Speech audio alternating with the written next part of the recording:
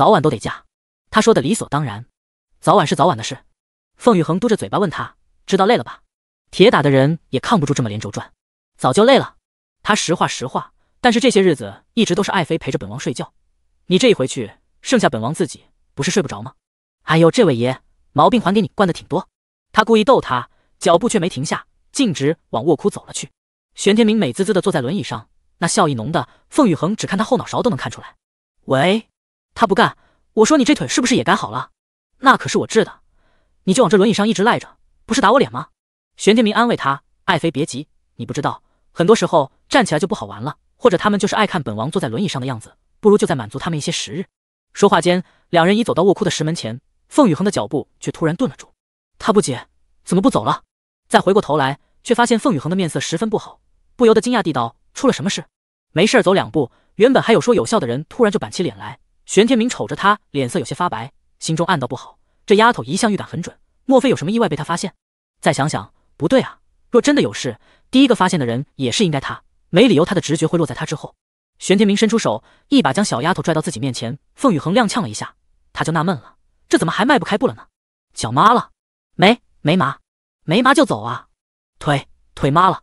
凤雨恒冷汗都冒出来了，他觉得自己不是腿麻，也不是脚麻，现在是嘴有点麻，话都说不明白了。那什么，你自己进去行不行？我突然想起来。还有些事情要跟铁匠们交代，我得再回去一趟。说着话，抬腿就要走。你给我回来！某人贼暴力，一把就把胳膊给拽住了。该交代的我都已经交代完了，我确定在前造渣和出渣这两项任务上已经说得很清楚，也没有任何落下的。不管你有什么事，都给我先把觉睡足了再说。他一手转动轮椅，另一只手却一直拽着凤雨恒的胳膊，走，陪本王睡觉。他急了，拼命的甩起袖子。我不，我不要跟你一起睡，要睡也是我自己睡。玄天明特别不明白这丫头闹的是哪一出，边上站岗的将士都憋不住笑了。他觉得必须得拿出些男人的力度来，否则这面子该往哪放？于是某人下了狠手，干脆用力一轮，直接把还在挣扎的小丫头给带到了自己怀里。凤雨恒一屁股砸到他腿上，还不小心把玄天明的手给做了。他脑子嗡的一声炸了起来，暗道不好。可还不等他有反应，就听玄天明咦了一声，然后把手抽出来，再一看，不由得大惊：“你受伤了？”他愣愣的看着自己手上的血迹，终于没了开玩笑的心情。抓过怀里的小丫头，急声问：“怎么回事？什么时候受的伤？你怎么不跟我说？”凤雨恒死的心都有，一张小脸涨得通红通红，头都抬不起来。玄天明急了：“你看着我！”“我不看。”他头低得更甚。来人！他大叫一声：“快请医官！”哎！凤雨恒瞬间崩溃，一把捂住玄天明的嘴：“不用请，不用请，请你妹的医官啊！我自己就是大夫，请什么医官啊？不用不用！”他气得用力把他的小手给掰下来。那你告诉我到底怎么伤的？我他看看玄天明，再看看边上围着的几个也是着急忙慌的将士，欲哭无泪。咱们先进卧窟吧，进去再说。这一次是他主动说进去的，因为他觉得再被这些将士看下去，他就没脸见人了。好，玄天明迅速转动轮椅，抱着他直接就进了卧窟，然后关上石门，这才又问：“你说说到底怎么回事？”凤雨恒同他商量：“你先放我下来好不好？虽然你穿的是紫色衣袍，但染上血迹也还是能看出来的。”不好，他摇头。我现在就想知道，你到底是如何受的伤。看着面前这人一脸严肃的样子，凤雨恒觉得自己真的被他给打败了。这人脑子一点都不转弯的吗？他就一心想着是他受伤，就不往别的地方想想吗？凤雨恒无语抚额，我没受伤，我只是大姨妈来了。谁来了？哎呀，我来葵水了！他气得大叫一声，什么尴不尴尬的都抛在一边了，挣扎着从玄天明身上跳起来，气得直瞪眼。我来葵水了，你懂不懂？我今年已经十三岁了，那玩意随时随地都会光临，你有没有点基本常识啊？这一喊倒是把玄天明给喊懵了。葵葵水啊！再看看自己的手，嗯，好像也是跟受伤时的血迹不太一样。凤雨恒瘪着嘴瞪他，你还看？有你这样的吗？他倒一点没觉得不好意思，反倒是贼兮兮的来了句：来了葵水，就说明你是真正的女人了，知道吗？这不是废话吗？我是大夫，我当然知道。嗯，某人点头，我们家恒恒终于长大了。于是凤雨恒也给了他一记有力的回击。长大了就不能再跟你睡一个床了，不然你就是不要脸。脸？他失笑而笑。自从跟你在一起，本王出门就没带过脸。他还能说什么呢？这人不是不要脸，他根本就没脸。啊！凤雨恒崩溃。好在某人也算是有同情心的。不过既然是癸水造访，那本王若要邀请爱妃同床，也显得太不人道了。他一边说，一边指着这卧寝里后家的那张床，道：“要不这几日就委屈爱妃在这张榻上休息一下吧。”凤雨恒瞬间复活，不委屈不委屈，我觉得甚好。他都想给玄天明鞠躬了。那什么，你先睡着，我去洗手。呃，我去茅房。说完就要往外跑，却又被玄天明一把给捞了回来。他哭：“你到底要怎样啊？”谁知人家并没有使坏的意思，只是提醒他：“你的袍子后头染了血，就这么跑出去，怕是不妥。”对哦，他差点忘了这茬儿，真是太久不来大姨妈，基本规则都给忘了。玄天明见他一脸懊恼的小模样，觉得十分好玩，可又不忍心再逗弄他。女人来葵水时，听说是很难受的，这丫头的脸都白了，他怎能再欺负她？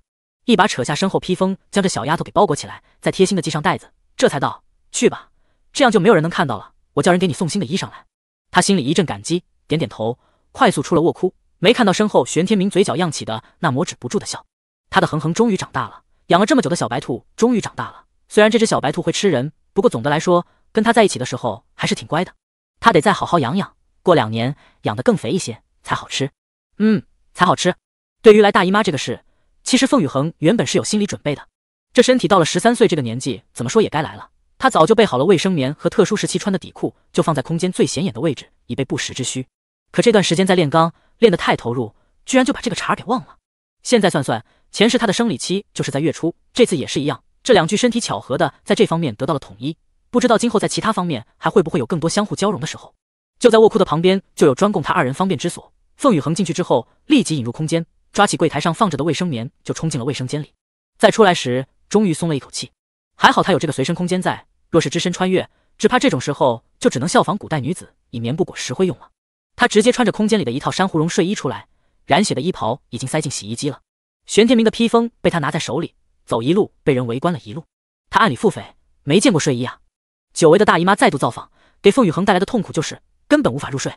玄天明就看到边上床榻上的死丫头翻来覆去的折腾，一会儿脸瞧里，一会儿脸瞧外，一会儿挺着身，一会儿拱着身，一会儿又干脆坐起来。他无奈了，你到底睡是不睡？凤雨恒瞪他，女人来癸水的时候肚子会疼，你知道吗？玄天明摇头，不知道。那我现在就告诉你，肚子疼，很疼，疼的睡不着。还有，你屁股出血试试，看你还能不能安稳的躺在床上睡大觉。玄天明再一次感叹：“媳妇儿真是威武，不拘小节。但是媳妇儿，这样的话，咱们也就在家里说说，当着外人的面可不能行睡啊。”他又不傻，我不想跟你睡了。他穿鞋下地，边上不是还有个卧窟吗？我到那边睡去。那怎么行？玄天明不干了，这睡到一半你走了，你让外头的将士们怎么看我？凤雨恒真是快要气炸了。我们还没成婚呢，就这么天天在一个屋里睡着，你让外头的那些将士怎么看我？他有些理亏，可还是不甘心。左右都睡了这么久。要有看法也早就有了，你现在改变根本也来不及。怎么来不及？他瞪他，反正我来葵水的这七天是绝对不要和你睡在一间屋子里的。哎，似乎柳暗花明，你的意思是，只是来葵水的日子要单独睡，七天之后还会回来？嗯，凤雨恒点头。那你去吧。他再不拦着，很大力的挥了挥手，去吧去吧，本王也困了，要休息。他咬咬牙，君子报仇十年不晚，等他好了的，定是要好好收拾收拾这个出门不带脸的家伙。凤雨恒愤愤地走出卧窟，拐了两个弯，到了另外一个卧窟内。送他过来的将士苦着脸说：“县主，您确定要搬家吗？将军醒了会不会生气？你家将军本来就是醒的，放心吧，他准了，不会为难你们。”那将军这才松一口气，然后帮着他把石门打开，再道：“那县主您好好休息。”他当然要好好休息，不过肯定不是在这地方。凤雨恒笑嘻嘻的一头扎进空间，在扑到休息室的床上时，脸上总算现出满足，就是要睡在这种有现代化卫生间的房子里才能安心吗？他闭上眼，开始琢磨着，跟玄天明大婚以后，一定得想办法在誉王府鼓捣出一个有抽水马桶的卫生间出来。还有，如果把药房空间那只马桶给刨下来挪用，那里面会不会自动再给补充一个？到底是疲劳过度，想着想着人就睡着了，却不知就在他刚刚进入梦乡的时候，空间外面的卧库里正轻手轻脚的摸进一个人来。媳妇儿，你太豪迈了！某人为了行这不义之事，也是蛮拼的，坐着轮椅在墙角等了老半天，精心的算计着里头的人从躺下到入睡的时间，估摸着差不多了。这才在门口两名守卫鄙视的目光中，特别不要脸的摸了进来。临关石门时，还听到其中一名守卫嘟囔了句：“将军也是的，要进就大大方方的进呗，整得跟做贼似的干啥？”另一名守卫告诉他：“明显是县主不想让他进来，不然就在那边歇下多好，何苦躲到这边来？那咱们把将军放进去，县主醒来会不会生气啊？如果不放，将军现在就会生气。行了，行了，反正是他们两口子的事，咱们少管。”玄天明抽了抽嘴角，这俩小子还算上道。凤雨恒进了空间时，是把这卧库里的烛火都灭过的。玄天明轻轻转动着轮椅往床榻边蹭，也看不清楚床榻上的人是怎么个姿势睡的，就伸手往边上一摸，空的。他想，人肯定是睡在了里面，正好也省得他费事了。一欠身，人从轮椅上挪到床榻上来，鞋袜脱掉，外袍脱掉，想了想，把上衣也给脱了，还得是跟媳妇儿一起睡觉踏实啊。他抱着这样的想法往枕头上躺去，手臂往里头一伸，就准备把死丫头捞过来搂在怀里，谁成想却扑了个空。嗯，玄天明纳了闷，再伸手往里划拉划拉，还是没人。他大惊，腾的一下坐起来，从脱下来的外袍里摸出火石，打开之后，冲着卧窟墙壁的几个上弹了几下，窟内瞬间通明。再转回头往榻里看去，哪里有凤雨恒的影子？外头的人进来！猛地一声大吼，他一边穿衣服一边坐回轮椅上，待守卫推开石门进来后，马上就发问：“县主呢？”两名守卫看了看窟里，也是一愣：“不对啊，属下明明看见县主进来的，而且进来之后就再也没出去过。”玄天明指了指床榻，再指了指四周，人呢？那两人吓坏了。凤雨恒确实没在卧窟里，难不成是失踪？不可能啊！这卧窟就有一道石门，还有个小的通风口。可是那通风口太小，连三岁小孩都爬不过去，更别提是大人。于是这二人一口咬定，县主一定还在卧窟内，绝对不可能出去。其中一人又道：“要不将军您再仔细找找，没准是县主跟您闹着玩呢。”他一边说，一边指了指这窟里放着的几只箱子和几个大柜子，意思很明显：螳螂捕蝉，黄雀在后。你能在外头蹲点守候就不行，人家也躲起来拆你的台。玄天明倒没这么想，不过这人的话倒是给他提了个醒。卧窟除了门之外是出不去的，这个他肯定。更何况他之前自己也在外头守着，并没有见到那丫头出来。既然这样，死丫头袖内有乾坤，他该不会自己把自己给塞到袖子里了吧？行了行了，你们先出去。他挥手赶人，还不忘提醒一句：这事儿不可对外张扬。两名守卫赶紧点头称是，齐齐退出卧窟。玄天明倒也不是对守卫的话完全没上心，见石门从外面又关了起来，他赶紧把这屋里的箱子柜子都翻了一遍。每打开一个柜门时，心里配合着的潜台词都是：我就知道你在这里。然而。所有箱柜开过之后，人还是没看到影子。此时他几乎已经可以断定，那丫头是动用了万间乾坤。此时人不知道引到什么地方去了。玄天明重新坐回床榻，衣服又脱了一遍。这床榻铺得很用心，十分舒软。死丫头不睡，他睡。只是一闭眼，就又开始琢磨起来：凤羽恒那万间到底是何乾坤？不但可以装物取物，甚至还能把一个大活人都给装进去。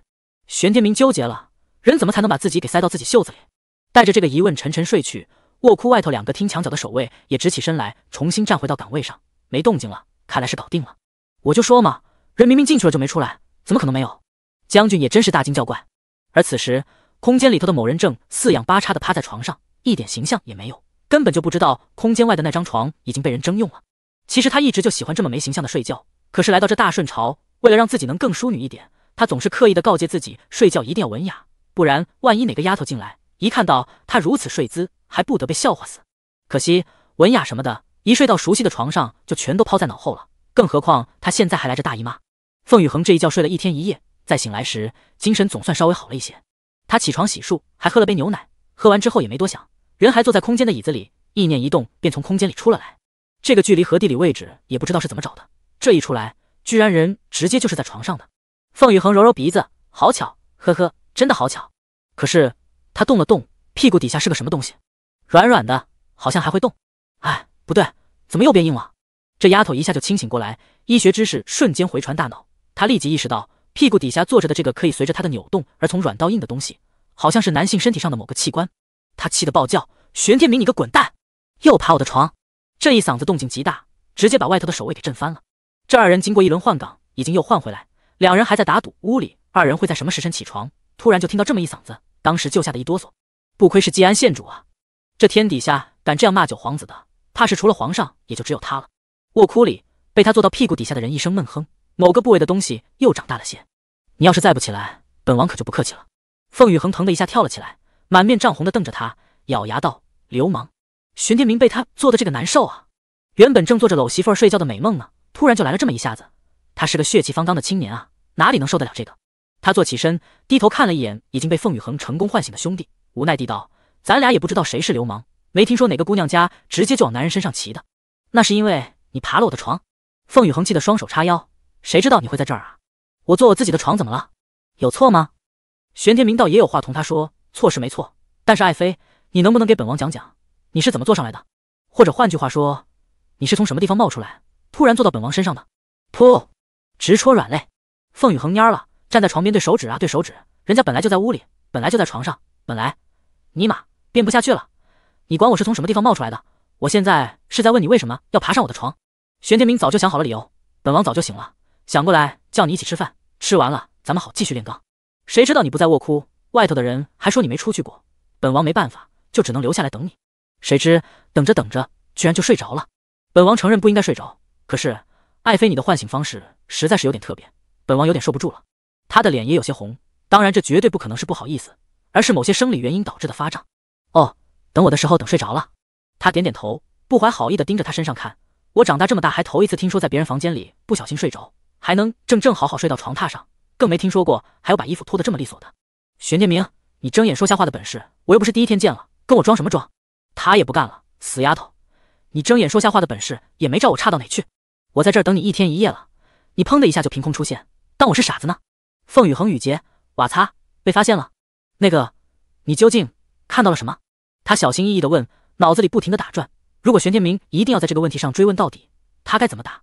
我看到你坐在我身上，正对着我，不停的扭来扭去。还用你的小爪子往下摸了两把，玄天明气的咬牙，该死的，替别人圆谎这事儿他还真是第一次干，好奇心已经快要把他逼死了，好吧？可是看这丫头一脸懊恼又紧张模样，他知道很多事情他若想说，自然会同他说，可换做他来逼问，性质就变了。他宁愿自己好奇的苦一些，也不想为难这丫头半点，心中苦叹，又补了句：反正一睁眼你就已经在我身上坐着了。凤羽恒小心追问：你刚才不是说我砰的一下就凭空出现吗？他握拳，夸张。一种夸张的说话方式，你懂吗？你又不是神仙，怎么可能凭空出现？做梦呢你！他松了一口气，面上一下轻松起来，笑嘻嘻的坐到床榻边跟他解释：洞窟里又不分白天黑天，总是暗乎乎的，我哪知道你在这里啊？好啦，是我的错，你快起来，我都饿了呢。刻意的避开他失踪一天一夜的话题，凤羽恒点了烛，强行的把人给从床榻上拖了起来，很是殷勤的亲自侍候他穿衣、穿袜、穿鞋，再到墙角去把脸盆架子给挪到了他跟前。夫君，我来侍候你洗漱。玄天明看到那脸盆架子边上还放着凤羽恒独家提供的香皂，还有牙膏、牙刷，还有一条软软的毛巾。他抽了抽嘴角，忍了几次，到底还是没忍住，说了句：“本王记得这卧窟内的脸盆里原本是没水的。”全面闭关，凤羽恒抚额，让你洗你就洗，哪那么多废话？他失笑，死丫头终于翻脸了。有时候想想自己也是有点找虐的倾向。这丫头和颜悦色的时候，他就觉得怪异，反倒是彪悍起来，他心里更加踏实。玄天明最后总结出来的是：本王也是个怪胎啊。两人洗漱完毕，凤羽恒挑衅一般的又当着他的面把那一盆水给塞到袖子里倒空了，再拿出来时，脸盆都洗得干干净净的。他已然淡定，觉得有这么个媳妇儿真是不错，人生处处有惊喜啊！哼哼，他扯了扯自家媳妇儿的袖子，改天你把本王也塞到袖子里试试呗，本王也想看看你那里究竟是何等乾坤。凤羽恒贼兮兮的瞅着他，瞅了半天，终于来了句：“美的你。”然后小身子一晃，眨眼功夫就溜到了石门口，用力将门一推，冲着外头的将士道。有没有准备吃的？饿死我了！外头那两人原本正趴在石门壁上听声呢，凤羽恒突然这么一推门，他们猝不及防，根本来不及躲，直接把鼻子给磨破了皮。二人捂着鼻子，苦着脸道：“县主，饭菜早就备好了，属下这就去给您端。”玄天明在屋里摆弄起了鞭子，看来卧库外头的守卫是该换换人了，简直没有隐私。不一会儿的工具，将士们把饭菜给端了上来。玄天明告诉他：“本王特地嘱咐帮你预备的饭菜，快看看合不合胃口。”嘴上是这么说。那表情简直就是，快看看本王贴不贴心。凤羽恒怀着疑惑的心向那几道菜看了去，当时就囧了：溜猪肝、蒸猪血、炒猪腰、炖猪蹄。前三道他还能理解，来大姨妈嘛，需要补血。但那个炖猪蹄是什么鬼？下下奶？他嘴角都抽筋了，特别无奈的问端菜的将士有没有清淡些的。将士点头，有粥。好吧，红枣桂圆莲子粥。凤羽恒怀着万分复杂的心情吃完了这顿饭，虽然心中腹诽不断。却并没有埋怨玄天明半句，他知道这个男人是为了他好，只不过毕竟是个大男人，又是个皇子，他哪里懂得女人经期到底是应该怎么个养护法？能琢磨出来要补血就已经够难为他了，自己再挑剔就实在说不过去。两人闷头吃饭，偶尔筷子相碰，倒是显得十分温馨。只是卧窟里却有些沉闷，他开始琢磨着，要不以后吃饭的时候放点音乐吧。这时，一直没有说话的玄天明忽然开了口，是同他道：“你到底去了哪里？我可以不问，但是恒恒。”至少你得让我知道你很安全。你不知道找不到你，我的心情究竟是怎样的？他听出他言语里带了委屈，鼻子有些发酸，用力吸了两下，这才认真的点了点头。这次是我不好，以后不管去了，我一定会告诉你我很好，很安全。他想了想，又道：当初凤同县凤家祖宅起火，你是不是也这样躲过去的？是。他不瞒他，听到七哥的声音才出来。那就好。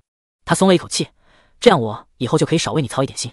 终于把饭吃完。凤宇恒虽然小肚子胀胀的，但依然精神头十足。他对玄天明说：“走吧，我们继续去炼钢。”他有些担心：“你要不要休息几点？”“不用。”他摇摇头，心里惦记着炼钢的事，怎么可能睡得着？实在太困了再睡就行。咱们走吧。他被这丫头强拉着出了卧窟，两人先到虚天窟内的熔炉地去看了一次。铁匠们已经掌握了造渣出渣的技术，但学徒们却学得慢一些，正在由他们的师傅指导。凤宇恒跟他说：“等学徒们把这前两步学好之后，这边留一位铁匠师傅监工。”其他人就调离开，分成几组去做别的。两人一边说，一边往库外的熔炉走。拉风箱的一百一十六名将士已经练习得十分纯熟，见他们回来了，一个个高兴地围上前。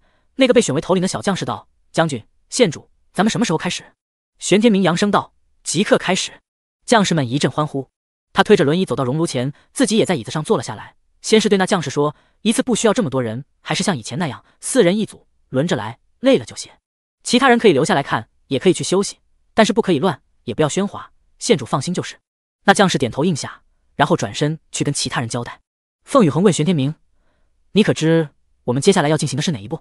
玄天明正色道：“可是氧化。”他点头：“没错，接下来是两个十分重要的环节——氧化期和脱碳期。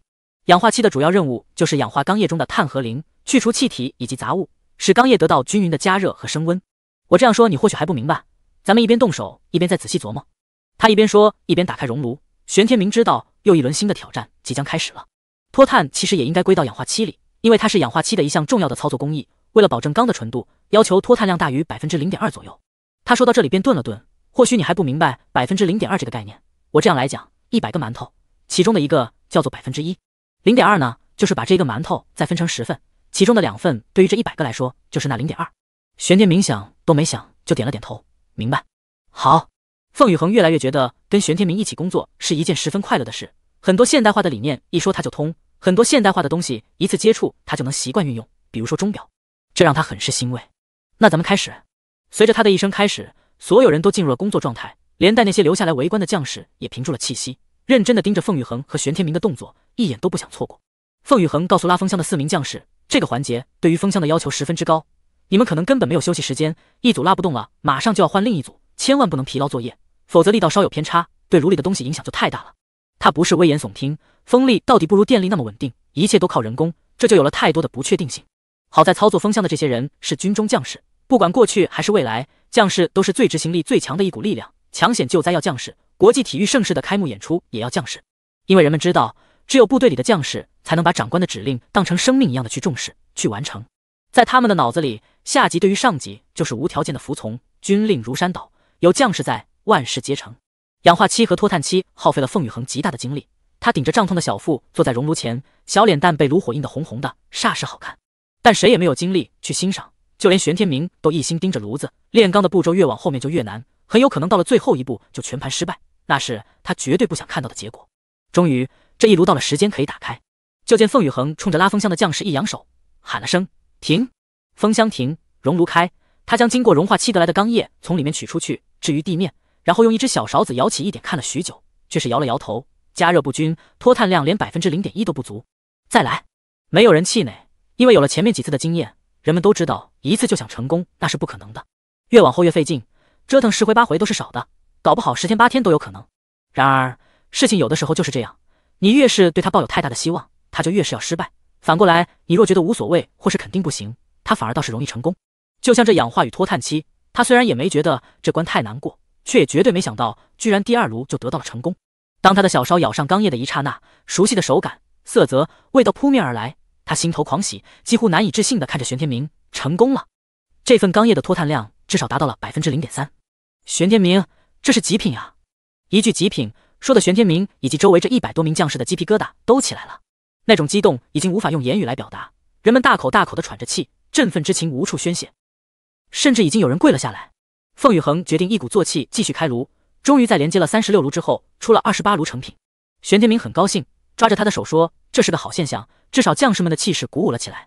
只要气势在，气场就会在，咱们的钢一定能练得顺利。”他自然也明白这个道理，但接下来是精炼期，不需要这么大的风箱发力了，虚天窟里的熔炉地就可以完成。于是他提议进窟作业。精炼期是一个漫长的过程，不用人多，却需要极其仔细。咱们两人来完成是最好，而且。我长时间在外头也不方便。玄天明明白他的意思，自去跟将士们交代一番，二人这才回了虚天窟内。凤羽恒随即宣布，他二人全面闭关。闭关期间，除了送饭的将士之外，他们不见任何人，也绝对不会走出虚天窟半步。军中大小事务暂且由各小营统领负责，直到钱礼回来再全面接管。人们本以为他二人就算闭关，有个十天八天的也该出来了，却没想到熔炼地内年月模糊，春夏交替。待凤羽恒与玄天明终于从虚天窟内走出时，已经是一百零八天之后。新刚大成，外头怎么这么热？这是凤羽恒出关之后说的第一句话。熔炉的温度高。他们二人都是穿着薄衣，可出了熔炉的，走在虚天窟里，却又觉得凉，便又将冬装换上。虚天窟常年低温，即便是三伏天也要穿棉袄。这两人炼钢炼糊涂了，根本就没意识到闭关到底有多久。直到听到他说热，玄天明这才留意了下外头众将的衣着，然后用胳膊肘碰了碰身边的丫头，小声道：“咱俩在里头关了多久？”凤羽恒想了想，最多也就一个月吧。不可能！玄天明指着这些将士道：“你看看，人家都穿夏装了。”他大惊，仔细去看，可不是吗？薄衣薄衫，甚至有人干脆光着膀子。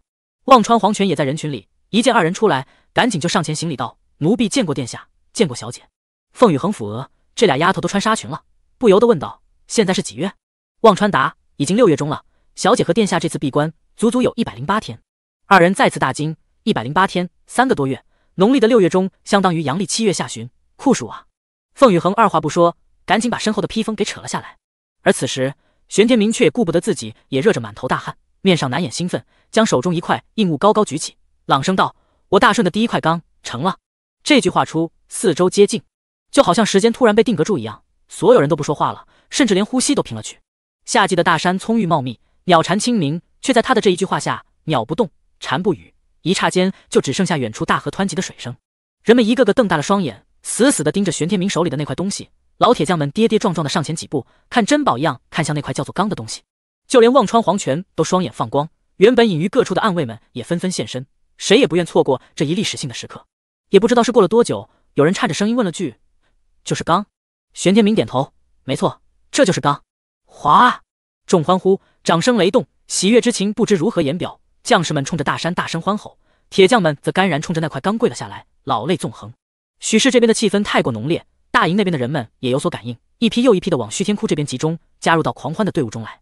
别说是将士和铁匠们，就连凤宇恒自己也被这样的气氛所感染。一百零八天的闭关，没有人能够想象他与玄天明二人熬过了怎样的苦。熔炉的就像个大蒸炉，闷得透不过气来。虽有通气口，但也仅能保证人在那样的环境下可以存活。想要活得舒服，却是绝对不可能的事。炼钢是二人心中的一个信念。凤羽恒是为了挑战自己，想要在这个完全没有任何高科技可言的时代造出新钢来。而对于玄天明来说，大顺有了钢，就相当于在这个天下的地位又高出一截，比之其他各国又往前迈出一大步。总之，这钢一练起来，那就是根本停不下来的节奏。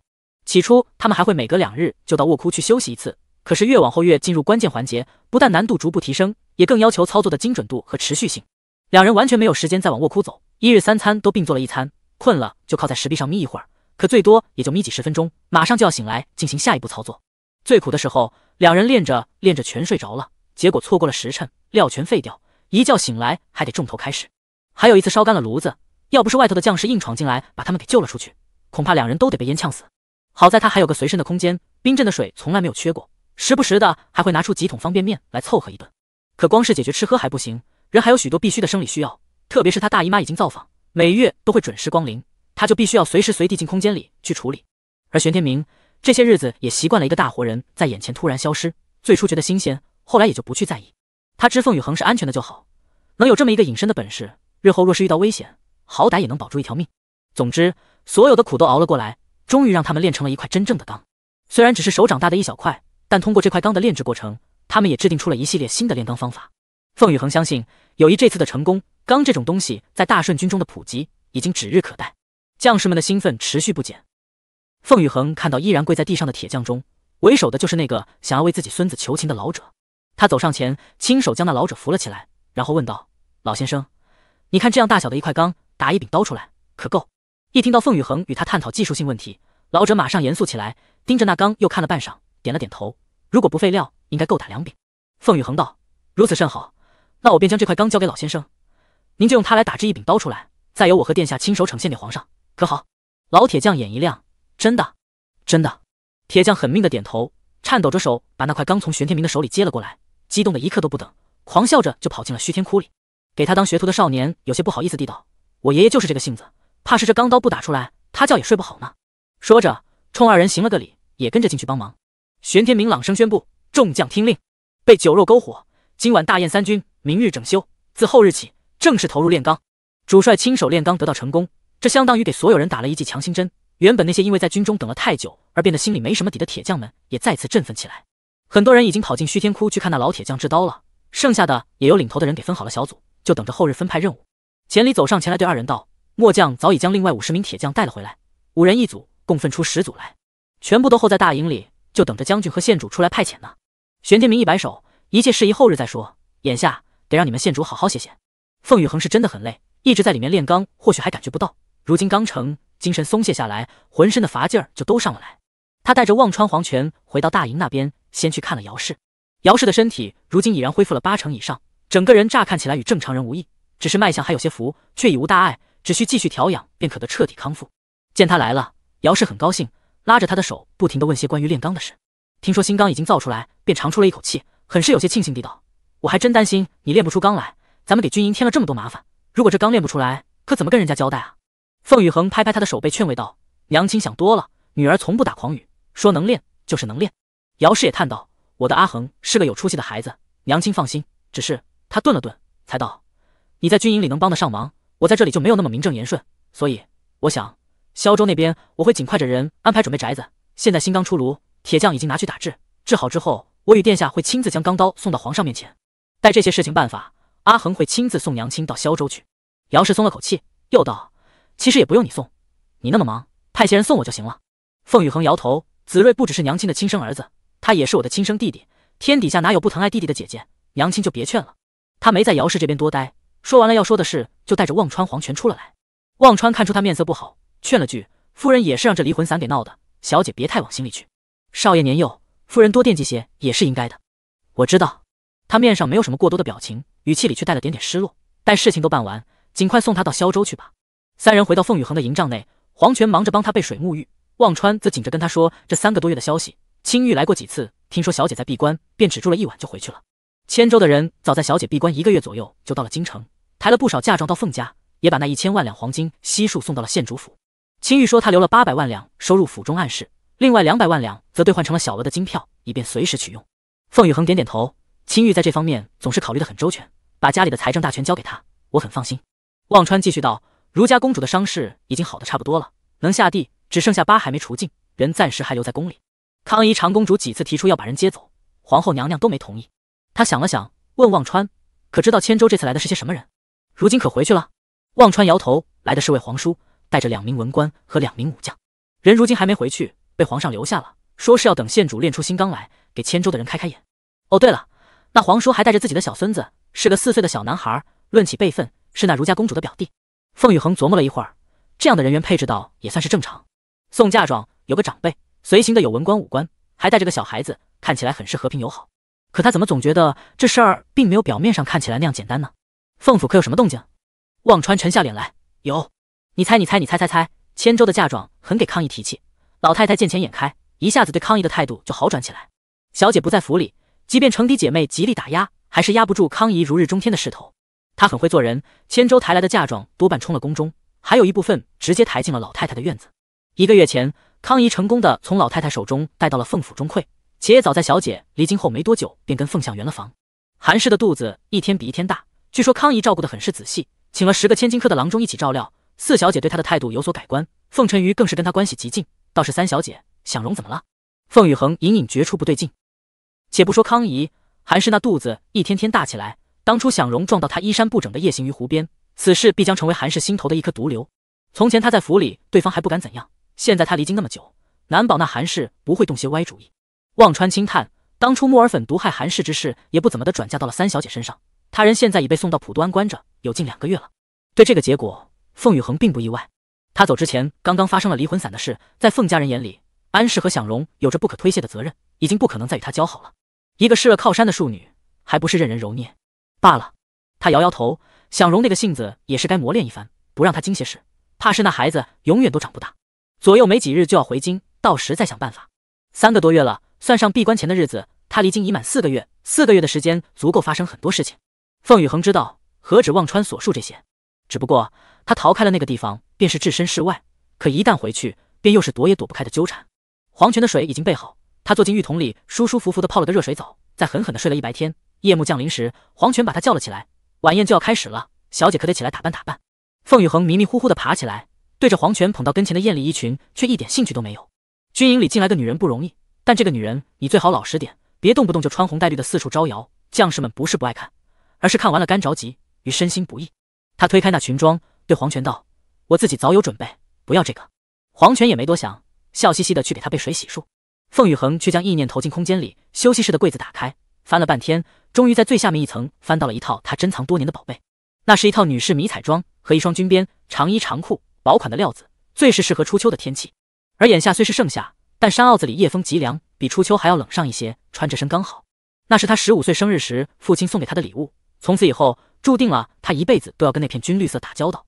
十五岁那年还在读初中，平时上学都要穿校服，以至于这套当时十分喜欢的迷彩装只能在放假的时候穿起来美上几天。后来个子长高，这衣裳就再穿不进去，却因为这是他生平第一次拥有迷彩，而被当成宝贝一样一直收着。没想到十五岁那年的衣裳，如今却派上了用场。现世这个身体比前世要高尚一些，虽然才十三岁出头，但他换上这身迷彩却并未觉得不合身。只是忘川黄泉看傻了眼，忘川为难的问他：“小姐，外头不再套一层裙子吗？”他无奈，坚定的告诉他们：“不用，这衣裳就是这样的。你们来看看。”他指挥着二人上前来摸摸料子，这种衣服叫做迷彩服，是专门为军队训练和作战而设计的制式服装。你们看这些颜色，有绿色、黄色、茶色，这些颜色组成不规则的图案，目的在于形成一种新式的保护色，便于着装人员隐藏在丛林、深山、沼泽等特殊的环境下，有效的抵御敌人侦察，迷惑对方视线。你们可以理解为跟夜行衣是一个道理，夜行衣适用于暗卫，这种迷彩服就适用于部队作战。忘川黄泉原本听得有些迷糊，但最后一个夜行衣的比喻倒是让他们开了窍，瞬间就明白了这所谓迷彩装的绝妙之处。黄泉赞呗，这可真是个好东西。忘川却比他心思细腻，抓到了凤羽恒关键的一句话：小姐说这是专门设计的，是谁设计的？你自己。凤羽恒点头，没错，就是我自己。他还能说什么？有的时候丫头太聪明了也不是好事。好在忘川没有再追问下去。二人事后他洗漱之后就准备出帐，一掀帐帘就看到玄天明正在门口坐在轮椅上往这边看来。两个丫头立即闪身，把凤雨恒给让了出来。凤雨恒的这一身打扮让玄天明也是眼前一亮。这三个月来他见过这丫头穿各种奇怪的衣裳，可却从来没见过这一套。怎么说呢？虽然颜色看上去并不适合女孩子，却可以穿出那种飒爽英姿来。衣服还不是最大的亮点，亮点是那双鞋子，那是什么材质？皮的。皮能做的那么亮，那么硬。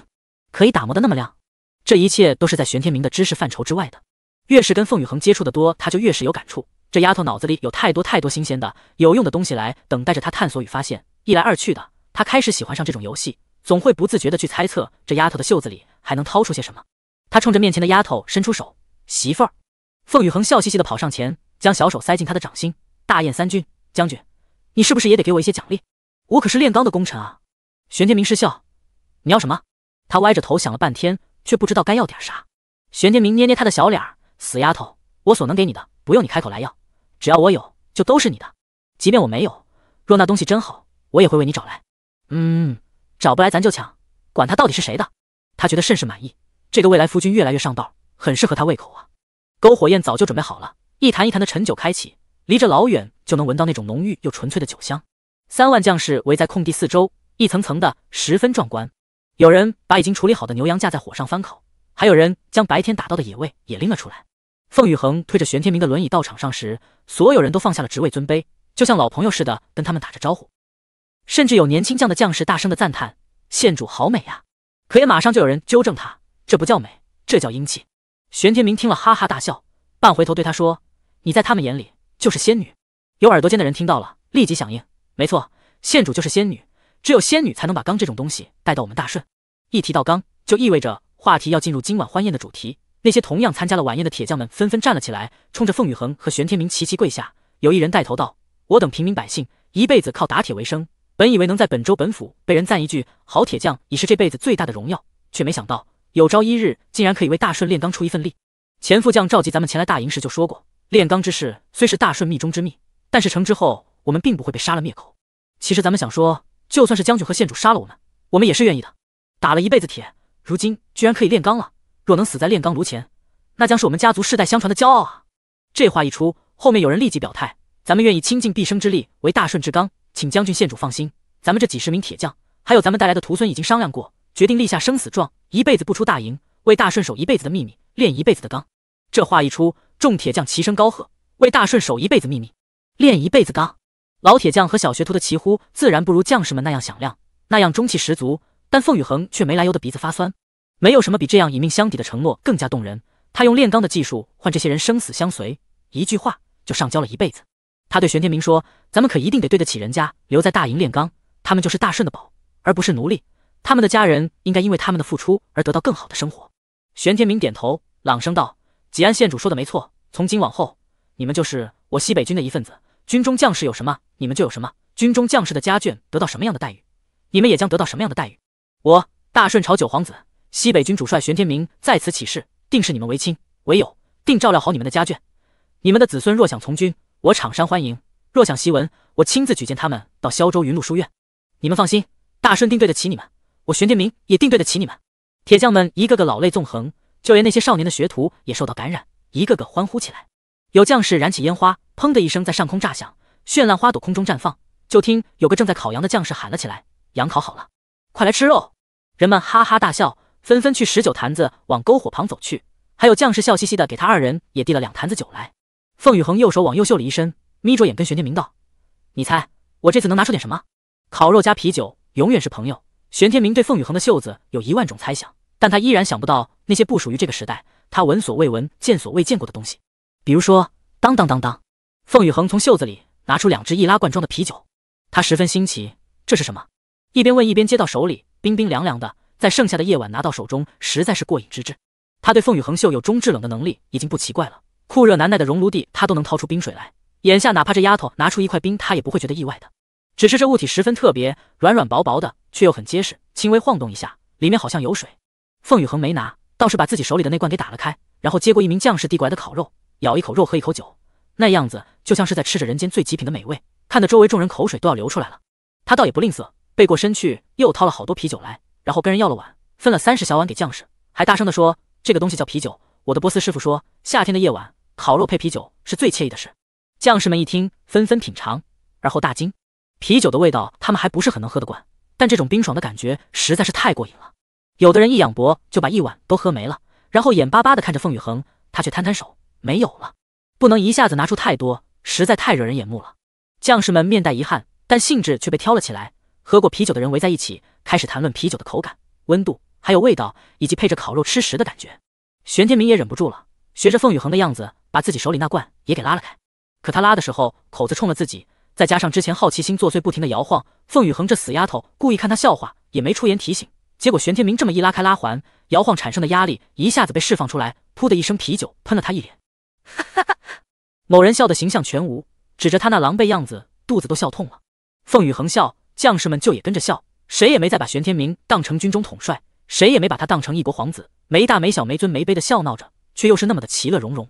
玄天明气得拿剩下的啤酒去淋他们，连凤宇恒也没放过，被他浇了一脸的啤酒。人们的笑声却更响亮了，这样的气氛强烈的感染着那些入营来参与炼钢的铁匠和小学徒们。在大顺，人人皆知有一位黑白不分、任性妄为的九皇子，人人皆知九皇子最得皇上宠爱。连龙椅都随他喜欢，想坐就坐。九皇子征战西北大捷，人们叫他战神。可人们也知道他在西北一战重伤了腿，回京之后脾气更加诡异暴戾，更是谁都敬而远之。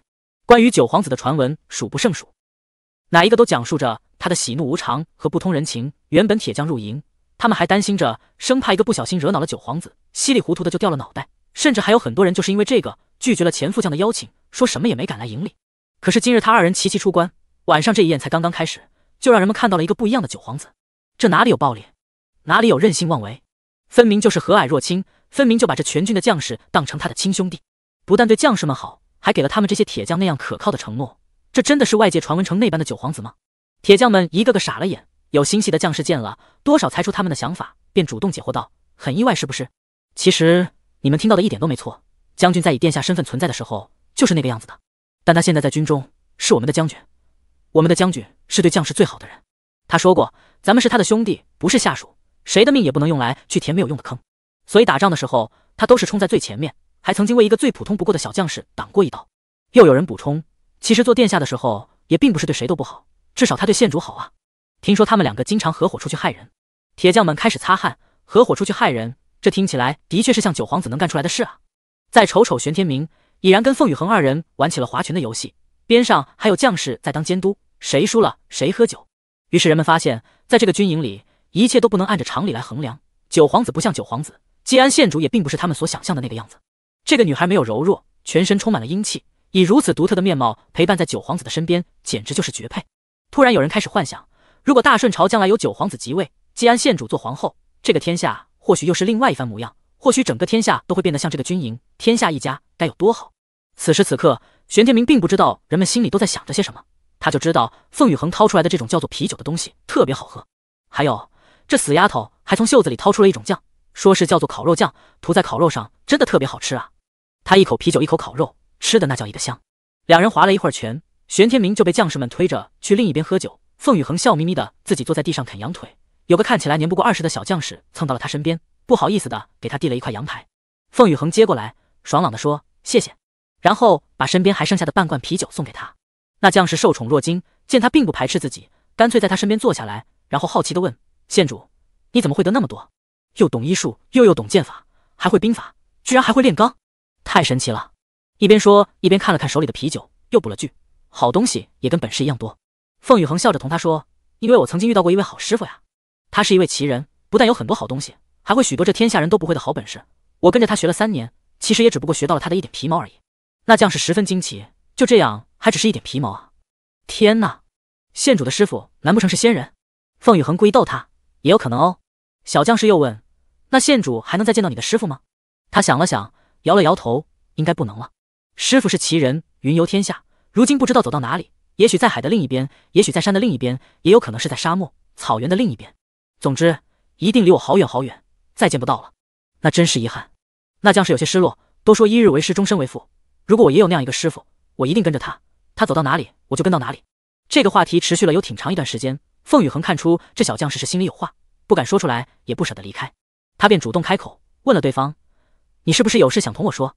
小将士一怔，然后猛地给自己灌了一口酒，这才道：“既然被县主看出来，那我就说了，我就是想问问县主，您是神医，可知眼疾都是如何治疗的？”眼疾？他问是谁患了眼疾？小将士说：“是我娘，我娘今年还不到五十，可是打从十年前眼睛就已经开始看不清楚。我爹死得早，大哥也战死在沙场了。”家里就一个妹妹在照顾着娘，妹妹今年十七了，已经过了说亲的最好年岁。就是因为担心她嫁出去之后没有人照顾娘，所以一直把自己留在家里。我想，想跟县主问问看，这样的眼疾能不能治？我不能耽误了妹子。凤羽恒放下手中的啤酒，认真的问他：“你同我说说，你娘的眼疾平日里表现出来的是什么症状？”那将士赶紧道：“他也不是完全看不清，倒是能透光亮，可是总说眼前就像有一层白色的东西糊着似的，看什么都是朦胧的。起初只是薄薄的一层。”这些年却越来越厚，从最开始的能看到人影，到如今连人影也快看不清了。可有疼痛？没听他说过疼，就是说像糊了一层东西似的。他心中已然有数，不出意外的话，这肯定就是典型的白内障了。你家在什么地方？京城吗？那将士点头，就在京城的，在京城西北边的陵园巷里有个小院子。其实家中条件还算可以，军中将军给的军饷挺多的，我吃住都在营里，衣裳也是营里发，所以基本不用什么银钱，发了饷就送回家里。再加上去世的大哥也有抚慰金，家里吃穿不愁，天天都能见肉。要不是因为我娘这个眼病，我妹子一定能嫁个好人家。可是，在京城就好办。他伸出手拍拍那将士的肩，安慰他，然后回过头跟忘川说：“回头你把他家住的具体地方记下来，待钢刀打造出来，我跟殿下就要回京一趟，正好过去看看。”一听说凤宇恒要亲自去看，那小将士乐得都不知道该怎么表达才好，一个劲儿的就要给他跪下磕头，被凤宇恒硬生生的给拦住了。将军当你们是兄弟，我也一样当你们是兄弟。兄弟的家人就是我的家人，我为自己的家人看病，讲什么谢啊？他大方地说：“真要谢，等你娘的眼疾治好了，你请我到你家里喝顿酒吧。”小将士眼泪不停的流，感谢的话不知道该怎么说，只能一直点头。边上有听到他们对话的将士笑着拍拍他：“你小子可真是有福气，有县主出手，你娘的眼疾一定能治好。你这么些年的心病也算去了。”小将士被人起着哄拽到另一边去喝酒了。凤羽恒趁着没人注意，又从袖子里掏出啤酒来，这一次掏出来的是两罐。一罐摆在自己面前，一罐放到对面的空地上，然后扬着头小声喊了句：“你小子出来吧，本县主带你们干的事儿就是高端啊！”身前人影一晃，已有三个多月未曾见到过的搬走闪身出现，直接就坐到了他对面，熟练的拿起啤酒开了罐子，一仰脖灌了一大口进去，在暗处瞅了老半天，现在才知道原来这东西是这个味儿的。他琢磨着到底哪里好喝，再尝一口，品一品，又喝了一口，一来二去的一罐就下肚了。搬走这才明白，有些东西你一下子说不出来它到底哪里好，可一旦喝上了，却怎么也放不下。他朝着凤宇恒伸手，还有吗？凤宇恒又掏了一罐给他，你喝慢一点，我还有话问你。搬走一仰脖，又是一大口灌了进去。不等他问，便主动道：“萧州那边一切都好，少爷挺了的，并没有再遇到危险。书院那边也给了全力的保护。叶山长把少爷安排在自己院子里住，由他的护院亲自守着。我暗里查过放火一事，却怎么也查不出到底是何人所为。”凤宇恒耸肩而笑，如此干净利落，就更是说明问题了。搬走问他：“你为什么不认为那纯粹就是一场意外？”他眼哪里来的那么多意外？你跟了我这么久，可曾看到过真有意外发生？不是我心里阴暗，凡事都爱阴谋论，而是敌人总会在猝不及防的时候突然出现。凡事想得太好，实在是太容易被人得手了。搬走还能说什么？的确，这世上哪里来的那么多意外？云露书院这么多年下来，从失过火，怎地就是凤子睿到了厨房就会失火了？他无奈的摇摇头，还真是猝不及防。能把事情做到这样，看来那云露书院也并不安全。歹人多半已经混进了书院里，我会立即飞鸽传书，让留在那边的暗卫多加提防。凤宇恒点点头，没再就萧州的事多说什么，只道辛苦你了。搬走一愣，下意识的摆了摆手，站起身来：“我是你的暗卫，你不要再赶我走就行了。”话说完，闪身不见。凤宇恒觉得自己好像喝的有点多，不然不会在向来不该有一丝感情的暗卫眼中看出留恋。一晃神的功夫，玄天明已经转着轮椅回到他身边，他不愿再想些有的没的，精神头儿再次转回到晚宴中来，借着点酒劲儿跟玄天明说：“我给你唱首歌吧。”玄天明目露惊喜，这丫头主动说给他唱歌，哈哈，他还以为这死丫头根本不会女孩家的那一套呢。没想到她也会唱歌啊！他故意刁难人，唱歌都是要配曲的，爱妃应该边弹边唱，那才应景。凤宇恒笑嘻嘻的看着他，扯过边上忘川的广袖往腕上一盖，在打来时一把吉他就拿在了手里。忘川觉得不能自己瞎，赶紧把黄泉拽过来，指着那吉他道：“小姐又变戏法了。”三人愣愣的看着凤宇恒手里的东西，谁也不知道那是什么玩意。玄天明瞅着那上头带着弦，猜想可能是琴类，伸手去拨弄一下，果然有声音发出，声音不大。还是惊动了离得不远的一群将士，人们纷纷围过来，集体疑惑地看向那只吉他。凤宇恒许是真喝多了，人明显比之前要兴奋。只见他用一只手将那把吉他高举过头，朗声道：“这个东西叫做吉他，是一种乐器，在我师父的家乡，这种乐器十分盛行。”一边说，一边又用手拨弄了一下吉他特有的声音，发出不同于古琴，有着谁也没听过的韵味。有将士喊道：“县主给咱们弹一首吧！”这话一起头，所有人立即附和：“县主弹一首！”的呼喊声此起彼伏。甚至连玄天明都跟着起哄来，他笑嘻嘻的对众人说：“好啊，弹一首就弹一首，不但弹，还要唱一首。”说着，主动往一个土坡上走去，然后席地而坐，把吉他抱在怀里，还在面前摆了个曾经在军营里用过的扬声器。这才又对着玄天明道：“我给你唱首歌，我自己改良过的，还没给别人唱过呢，你听听看。”语毕，琴起，后世的乐器，后世的曲子一响，仿佛带着人们进行了一场时空旅行，就连凤羽恒都有些分不清，这到底是大顺朝的军营。还是二十一世纪的陆战部队。恍惚间开口，熟悉的旋律朗朗而来。江山如此多娇，引无数英雄竞折腰；美人如此多娇，英雄连江山都不要。一颦一语如此温柔妖娇，再美的江山都比不上红颜一笑。念奴娇本是一曲节奏偏快的歌，前世他喜欢，无聊时便根据自己的喜好稍微做了一些修改。吉他轻弹慢唱，念奴娇有一种电子和弦无法抵达的意境，特别是配上此番身临之地，哪里能是前世靠意识幻想而得来的些许古意能比得了的？大江东去，浪淘尽，千古风流人物。故垒西边人道是三国周郎赤壁。乱石崩云，惊涛裂岸，卷起千堆的雪。羽扇纶巾，谈笑间，樯橹灰飞烟灭。原本是伊能静娇柔的声音唱的歌曲，被凤羽恒唱起，却多了几分硬朗，多了几分刚气，更不再轻哼笑唱，转而变成水墨江山，儿女情长，不失波澜壮阔，大气浑成。吉他尾音收住时，久久没听到本该响起的掌声。凤羽恒不乐意了，哎，你们倒是有个表示啊！也不知是谁带头喊了一声好，随即掌声轰鸣，三军齐奋。其实，仅一个好字又怎么能表达得了这一曲之妙？只是这些五大三粗的将士们没有太多文化，不知道该用什么样华丽的词藻去表达心里所感，就只一个劲儿的拍着巴掌，将凤羽恒惊为天人。玄天明也哈哈大笑起来，然后指着凤羽恒，朗声道：“丫头，你这是在告诉本王，整座江山也抵不过你的一笑吗？”凤羽恒挑眉看他，神色中带了些许挑衅：“你觉得呢？”玄天明很是给面子的点了点头：“本王也是这样认为。不过你歌里有一句唱的不对，不应该是三国。”而是天下列国，三国哪够？取我们家恒恒，本王总得给你一片最好的天下，最好的江山。好啊！他从土坡上站起来，这么多兄弟都听着呢。玄天明，是你自己亲口说的，要给我最好的。没错。他将声音再提高了些，痛快地道：就是要给你最好的，天底下最最好的。耶！他高兴的跳起来，眨眼间又变成了一个十三岁的小女孩，还怂恿着将士们：“你们都听见了吧？帮我记着呀！如果他说话不算话，可得帮着我讨回公道。”将士们一笑着道：“县主放心，咱们可都听着呢。”这样一番互动，再次刷新了那些铁匠和学徒们的黄子罐。他们更没想到的是，这季安县主居然开口闭口就是玄天明，玄天明，直呼九皇子大名，这这简直不合规矩啊！可他们随即也意识到了，在九皇子与他未来的妻子之间，哪里有什么规矩可言？他把这个女孩都宠上了天，这个女孩的本事也大过了天。这样的一对璧人，做什么都是对的。将士们又开始新一轮的喝酒，好多人往凤羽恒这边围过来，轮着翻的敬他酒喝。虽然玄天明一个劲儿的提醒，千万别把本王的媳妇给灌醉了。可喝开了的人们哪里还听他的？一碗接一碗的敬啊！凤羽恒也是一碗接一碗的喝啊！喝着喝着就真喝多了。他扯着玄天明的袖子，笑嘻嘻地说：“我刚才唱那歌名叫《念奴娇》，是为了给你展示一下我的小女儿情节的，证明唱歌、弹琴什么的我也是会的。但那歌只适合我唱，不适合男人唱。”玄天明抽了抽嘴角，有一丝不好的感觉。怎么的？你还想让男人也唱？为什么不行？难道你不知道行军打仗也是有战歌的吗？或者叫军歌？总之。是那种一唱起来就很能鼓舞气势的。他说的玄天明有些心动，听到的将士们也有些心动。玄天明问他：“你会那样的歌？”“必须的。”凤羽恒从地上跳起来。不过不用我教，我来放原唱给大家听，大家跟着一起学啊。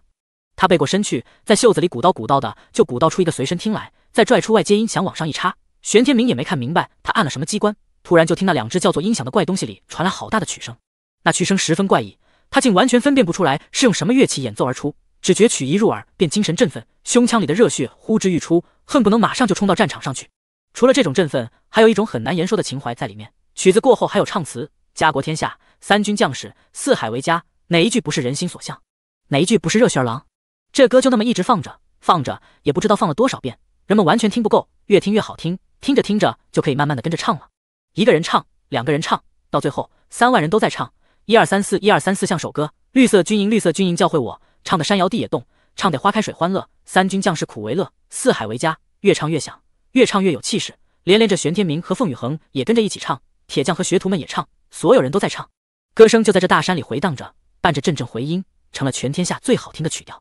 就在人们觉得今日的晚宴将在这样的军歌声中达到最巅峰的高潮时，喝多了的某个死丫头脑子里又蹦出了新的念头。她再次拉了拉玄天明的袖子，在将士们歌声中大喊着说：“光唱歌没意思，咱们再来跳舞吧。”虽然跳舞这个事跟男人有些不沾边儿，但有了唱歌的经验，玄天明认为凤羽恒所说的跳舞也应该是个很高端、很能让人惊叹的舞蹈，于是点了点头。好，你教他们跳舞吧。然后就见凤羽恒的小手指头往那随身听上一点，原本好好的军歌瞬间就转了曲风，一首绝对高端的歌从那两只大音响里传了出来。你是我的小鸭小苹果，怎么爱你都不嫌多，红孩还是白骨精。次日晌午，宿醉的某人是在一阵小苹果的歌声中醒来的，就听着身边有人不停的走来走去，嘴里轻哼着。红红的小脸儿温暖我的心窝，凤羽恒突然就打了一个激灵，疼的一下坐了起来。该不是又穿回去了吧？他有些害怕，好不容易接受了这个时代，好不容易混的还算是风生水起，连终生伴侣都找到了，这种时候再给他送回去，老天爷绝笔是在玩他。小姐，你醒了，是忘川的声音。他扭头又一眼瞄到端着水盒还在哼歌的黄泉，昨天晚宴的记忆匆匆而来，好不容易眼开的睡眼又闭了起来。老天，昨天晚上他到底干了什么？唱军歌也就算了。居然还带着全军将士大跳广场舞！哦，上帝，简直没脸起来见人！小姐，忘川坐到他床榻边，都晌午了，小姐该起了。奴婢叫人煮了白粥，小姐喝点清清胃。他指指黄泉，能让他别唱了吗？唱的我胃疼。黄泉不解，小姐挺好听的，虽然话是有些直白了，奴婢也不好意思唱，但只哼哼曲调还是不错的。他嘴角有点抽筋。这时帐外有个将士叫了声：“现主起了吗？”黄泉赶紧答应着出了去。再回来时，手里就提了一篮子苹果。小姐，你看，这些都是将军一大早去山里摘的，可新鲜呢。凤羽恒大窘，这一篮子苹果带给他的刺激实在太大了。他发誓一定要戒酒。随着第一块钢的炼制成功，新钢在西北军中全线投入生产。所有铁匠和学徒分成了十二个小组，分别在不由的熔炉地内进行炼钢工作。玄天明和凤雨恒分头指导，确保每个小组要至少先有一人将该组所需进行的环节彻底融会贯通。与此同时，第一柄钢刀的打制也在紧锣密鼓的进行着。老铁匠第一次打制这种新型材料，多少有些下不去手，生怕打坏了浪费这块钢。后来看到全营人都已经投入炼钢，玄天明告诉他，很快就会有大量的成品钢被造出来，他这才放开手脚。十天之后，大顺的第一柄钢刀终于出炉。那老铁匠几夜没睡，熬得眼睛通红。刀终于制成时，一下就跪到地上了。他的小孙子在边上扶着他，不停的劝：“爷爷，你千万别哭，您的眼睛可经不起再流泪了。”对于第一柄钢刀的产生，全军将士都异常兴奋。玄天明将钢刀交到钱离手里，又亲自点了五名将士上场试刀。将士们怀着激动的心情，带了自己的随身武器上场。钱理还记得当初自己的长刀被凤羽恒斩断那一瞬间的震惊，他哈哈大笑：“今日就让你们也试试断气的滋味。”虽是断气，但将士们却并不觉得是耻辱，一个个争先恐后的往前冲。几个回合下来，刀断剑裂，就连一把大斧都卷了刃。钱理从来也没感受过这样的成就感，即便当初在西北打仗，他一刀连砍十个敌人，也没让他像今天这样痛快过。五名将士的兵器全废，立即又有五人冲上前来。又是几个回合下来，对方一样的下场，可他手里的钢刀却依然崭新如初，连边都没见破。钱理乐得都要蹦起来了，提着钢刀到了玄天明和凤宇恒面前，将刀往二人眼前一横：“将军，县主，你们看。”凤宇恒心里自然有数。玄天明还是有些不放心的看过去，只见到钢刀无一丝破损，这才点了点头，然后对凤宇恒道：“准备一下，咱们明日回京。”钢刀制出，自然是要带进宫里，向天武帝呈禀。只是这大营正在炼钢，是全国防范的重中之重。他二人这一离营，将士们心里还真是有些没底。玄天明将三军将士做了重新部署，从大营到虚天窟熔炉地多加了三层守卫。凤羽恒也带着天机组连夜布下了一套防御阵法，并将神射组安排在所有防守的最外围。大阵布完。人员当排妥当，天都已经亮了。此番回京，姚金也跟着一并回去。凤羽恒打算见完皇上之后，便挑个空档，亲自送姚氏去萧州。车队一路奔着京城的方向疾行。他躺在玄天明的公车里，睡得极没形象。忘川几次想把一张薄毯子给他搭到身上，好歹把自家小姐的不良睡姿给遮一遮。可盖一次被踢下来一次，盖一次被踢下来一次，如此折腾了几个来回，玄天明看不下去了，你就放弃吧。这丫头今儿睡的已经算是好看了。说笑间，就听到前方突然有个声音传来。救命啊！救救我！声音清脆，听起来像个孩子。紧接着，就又是姚氏的声音也传了来：“停车，快停车！”那辆车一停，玄天明的公车也只能跟着停下来。马车不再颠簸，凤羽恒一下就醒了过来，皱着眉问：“怎么了？”黄泉正掀了车窗帘子往外看，边看边说：“有一个小孩被倒吊在悬崖边的歪脖树上，整个身子都悬着。他在呼救，夫人听到了，就叫车停了下来。现在人已经被青玉扶着下了马车了。听说姚氏下了马车。”忘川再坐不住，赶紧也跟了下去。玄天明提醒他看仔细了，小心有埋伏。然后再回过头来跟凤羽恒说：“有点意思，本王从这条路来来回回不知有多少趟，还是头一回遇到这种事情。”凤羽恒也爬起来，坐到车厢边去看，边看边说：“这是官道，虽说临着悬崖，却也只是一小段而已。京郊的官道上有人绑了孩子吊在树上，这事儿蹊跷啊！”说话间，姚氏已经由青兰扶着往悬崖边走去，忘川迎上前把他们给拦了下来，说了几句什么，姚氏便不再往前走。但却仍然大声的嘱咐忘川，可一定要把他救下来啊！凤羽恒无奈，姚氏的同情心又发作了。忘川小心翼翼的上前，就见那孩子因被倒吊着，脸上已经充血，面色涨红。他不由得也有些心疼，却始终记着玄天明的嘱咐，便谨慎的问道：“你是哪家的孩子？缘何被吊在这里？”那孩子哭得眼睛都红了。有一伙坏人把我爹娘都推到悬崖下面去了，他们抢了我脖子上的金圈，还把我吊在这里，说是喂老鹰。姐姐，救救我！这孩子四五岁的模样，一身狼狈。衣裳都被划破了，忘川再看看四周，很明显的能看出打斗的痕迹，心下稍微放松下来，但还是又问了句：“你的家在哪里？”孩子哭着道：“我家好远，我不知道。爹爹说要搬来京城做生意，可是被他们推到悬崖下面了。”姚氏又在后头喊了句：“忘川，你把他救下来吧。”忘川点了点头，快步上前，就准备跳上歪脖树去把绳子解开，抱孩子下来。可是没想到，他飞身而起，人才刚落到那树上，原本还能吊得起来一个孩子的树，突然就连根儿起。直冲着悬崖下面就栽了去，姚氏和那孩子同时发出啊的两声惊叫。凤羽横翼，神色微动，黄泉却道：“没事，忘川最见长的就是轻功，这样的高度他可以轻松上来。”话刚说完，就见那悬崖下面忘川的身影又回到人们的视线，不止他自己回了来，手里还拎着那个孩子。两人一落了地，那孩子哇的一声就大哭起来，也不理忘川，甚至顾不得起身，直接就在地上爬着奔向姚氏。姚氏本就心软，眼下一见这孩子可怜的小模样。慈母心瞬间就被彻底激发，奔上前一把就将孩子给抱在怀里，不停的拍着他说：“不怕不怕，乖，咱们现在安全了。”忘川在后头递给了凤羽恒一个无奈的眼神，也在向他询问接下来该怎么办。凤羽恒的注意力都集中在那孩子身上，看着他在姚氏怀里撒娇，总觉得有些不大对劲。他扯了扯玄天明的袖子，小声道：“小孩子被人摸头是不是很正常的事？我也总会摸飞宇的头，他都没有表现出不乐意的样子。可是你看他，他用下巴挠了挠那个小孩。”娘亲每次摸他的头，他都会故意躲开。玄天明冷笑，何止是摸头，这孩子撒起娇来也不是很得心应手。我过去看看。他起身跳下了公车，快步往姚氏那边走去。也不知是不是他神经太敏感，总觉得那孩子见他过来时，目光中带着一丝期盼，也带了一点戒备与紧张。两只小手死死地抓着姚氏，怎么也不肯松开。青兰笑着说：“这孩子还挺黏夫人呢。”姚氏爱听这样的话，笑着道：“这可能就是缘分吧。这些年除了子睿，还是第一次有小孩与我这样亲近。”娘亲这是想弟弟了。凤雨恒已经走到近前，笑着对姚氏说：“带回京逗留几日，我便送娘亲去萧州。”说着话，又看向那个孩子，看时一愣，随口就来了句：“哟，这孩子长得可真难看。”小孩面色沉了下来，姚氏赶紧又把他往怀里揽了揽，然后跟凤雨恒说：“这孩子够可怜的了，你别吓他。”再跟那孩子说：“不怕不怕，姐姐逗你玩呢。”凤雨恒也道：“没错，是逗你玩呢。小孩子无关好不好看，可爱就行。所以你不要总是皱着眉头，那样会失了童趣，显得过于老成。”他一边说，一边朝着孩子伸出手：“哎，悬崖边上掉了这么久，我来给你看看身子有没有什么不适。”孩子想躲，却被姚氏给拽住了，劝着他说：“乖，姐姐是大夫，让她给你看看，咱们也好放心。”他再躲不过，只好极不情愿的把手腕递了过去。凤雨恒一点都没客气的把人拽到自己面前，手上加了劲儿，用力往脉上一掐。心道：果然，姐可真是没有那个好心肠。什么四岁的孩子，这分明就是个侏儒，还是个连面部特征都随着身体一起停止生长的侏儒。凤羽横中射出金光，在面前这侏儒脸上转了一圈。那侏儒倒也聪明，一下抽回手腕，又揽住姚氏的脖子，嘴里还学着小孩子一样的叫着：“姐姐好可怕，我要阿娘。”说着，眼泪还掉下来了。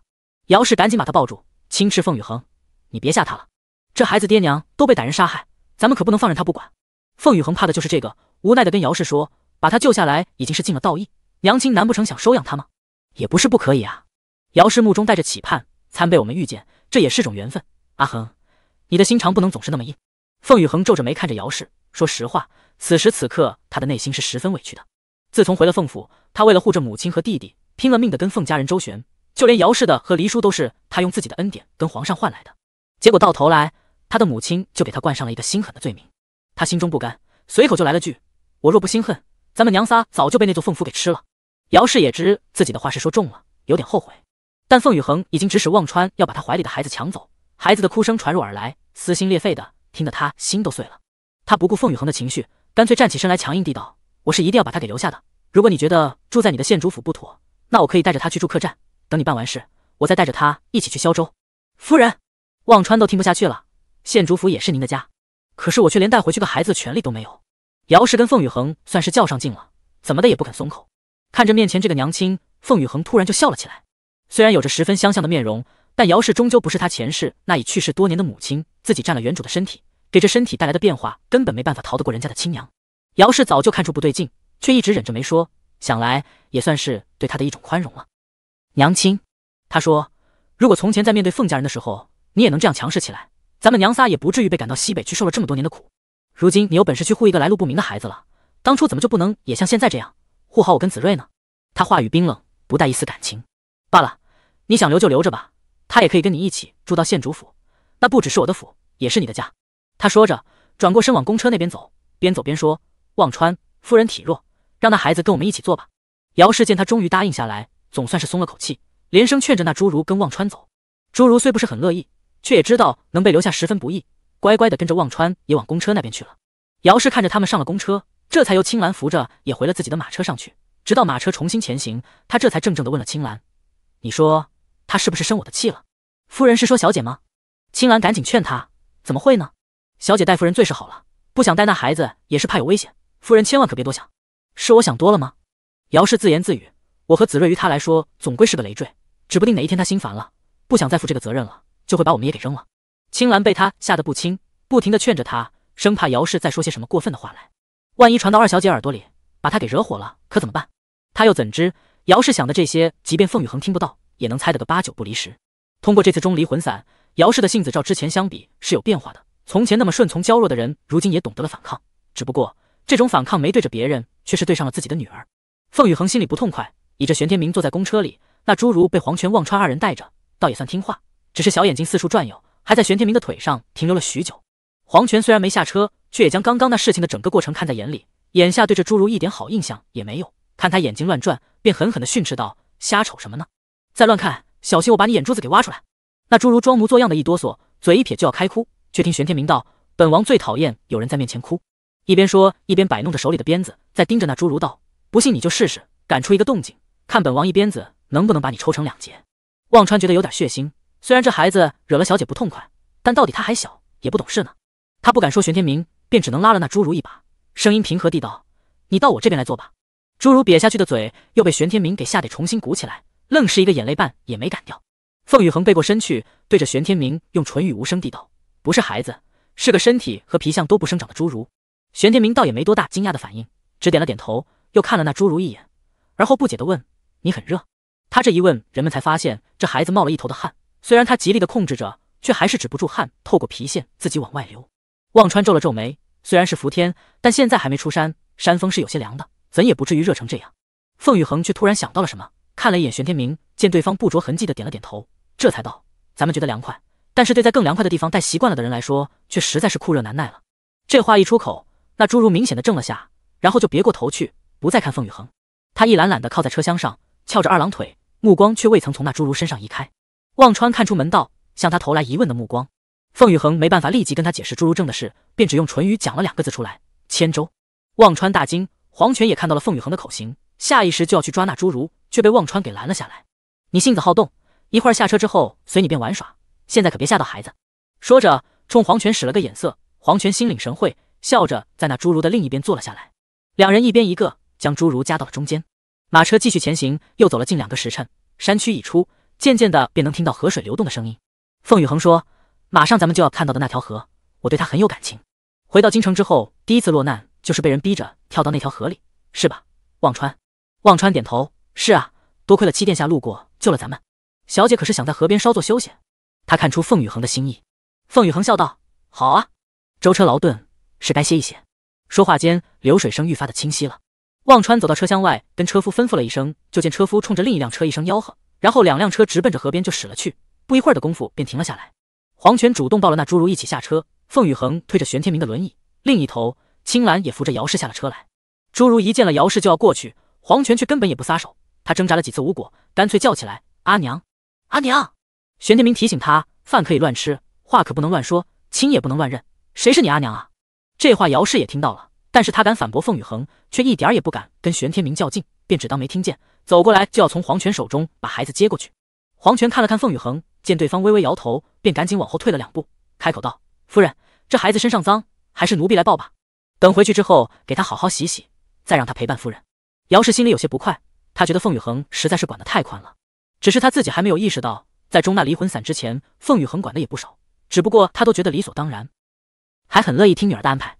自从中了离魂散，现在虽说已经没事了，可这脾气秉性却有了不小的变化。这种变化连青兰都看得出，他自己却无从察觉。凤雨恒推着玄天明又往前走了走，一直走到河边才停下来。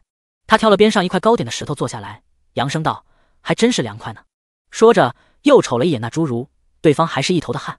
他笑着问：“从来没过过夏天吧？也真是难为你，这么热的天还要演出这么一场漏洞百出的戏，想想都累得慌。”那侏儒警惕地看了凤雨恒一眼，低了头做委屈状。黄泉冷哼一声，一松手就把他给扔到地上。侏儒猝不及防，砰的一声落地，摔得个结结实实，连门牙都掉了两颗。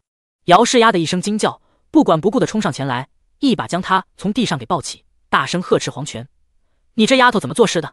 毛手毛脚！”再低头一看，孩子的门牙没了，心里就又是一揪一揪的难受。跟着你家小姐跟久了，也学了个冷漠的性子。这孩子还这样小。你们怎么下得去手？凤雨恒忽然一下站了起来，姚氏吓得一哆嗦，就见他一步一步往自己面前走来，一伸手猛一用力，一把就将那侏儒给拽到自己身边。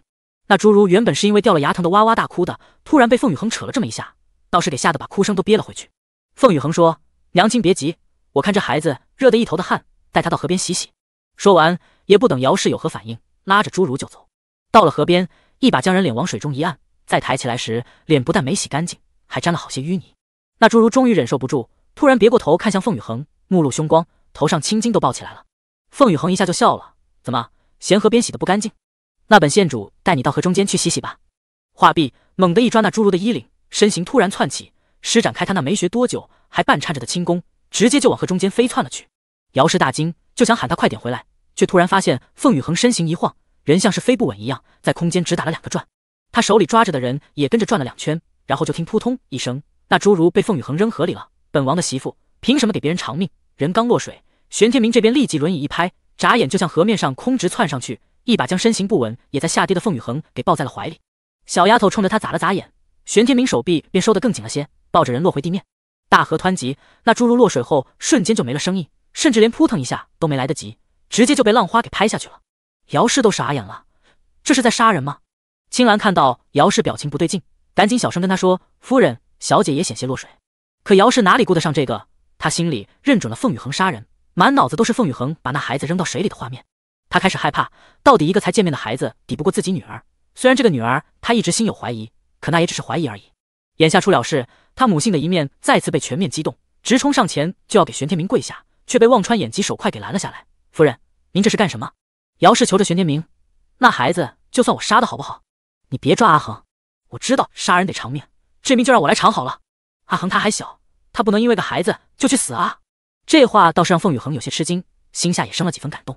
之前姚氏与他表现出来的隔阂与生疏，在生死一线间全部抹杀掉。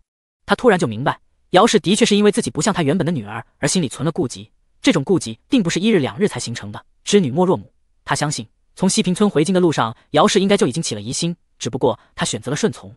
虽然顺从，但心里的疙瘩还是在的。直到他中了离魂散。那种东西可以将人一切的潜意识无限放大，哪怕是已经戒掉了毒瘾，那些被激发出来的潜意识也不是一时半会儿就能消退回去的。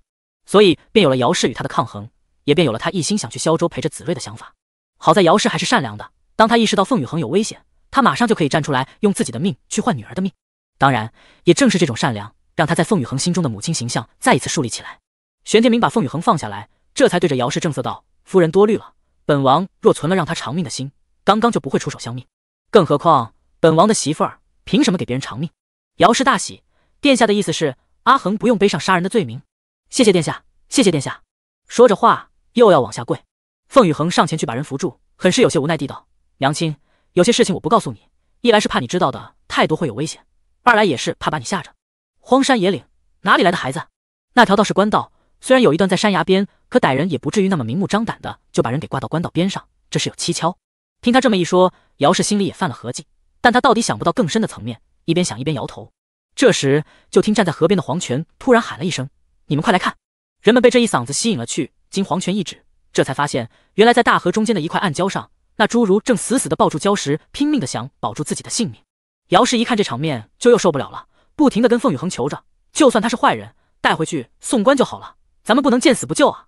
阿恒，咱们被送到西北时，你弟弟就也像他这般大。你就全当是救子睿，好不好？凤宇恒紧锁着眉心，正在想该如何反驳姚氏，或者再拖一会儿时间，让那侏儒自己抱不住了，被河水冲走。这时，玄天明却突然来了句：“夫人说的对，咱们不能见死不救。”嗯，他不解，扭头看他，却从对方眼中看出了一丝狡黠。凤宇恒立即明白，这人定是心中有了打算，于是赶紧对忘川道：“去把人救上来。”忘川道了声是，然后飞身而起，轻轻松就把那侏儒又给提了回来。侏儒吓得脸都白了，也顾不上跟姚氏撒娇，就坐在地上打哆嗦。却不知这种小模样更是疼化了姚氏的心。他赶紧吩咐青兰：“快到马车里取个毯子来，这孩子这么冻着，可如何是好？”然后再跟阿恒道：“他身上湿，跟你们坐公车不方便，还是我带着吧。”凤羽恒没再驳姚氏的意，只是对忘川和黄泉说：“你们跟着夫人一起坐，夫人大病初愈，是万万做不得抱孩子这种累人事的。”两个丫头点头应下，众人再不过多逗留，纷纷反身上了马车。车子一启动，凤羽恒立即就问玄天明：“你可是有何打算？”玄天明摇头，打算还没想好。我只是突然想到了一个事情。什么事？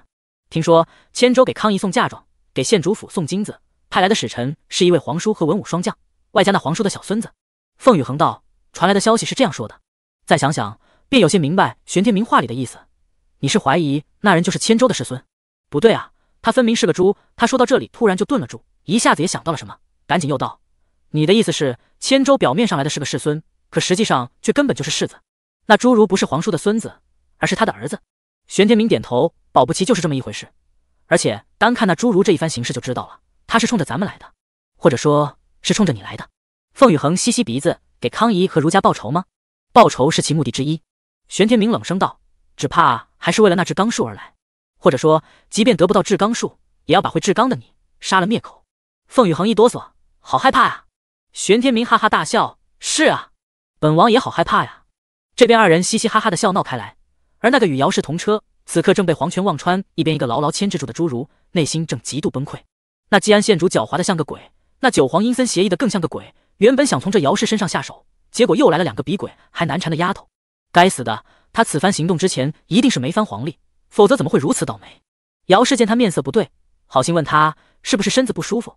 侏儒不语，他已经没有耐心在姚氏面前再装小孩子撒娇了。他一想，如果把姚氏挟持，凤羽恒会不会将至刚术给交出来？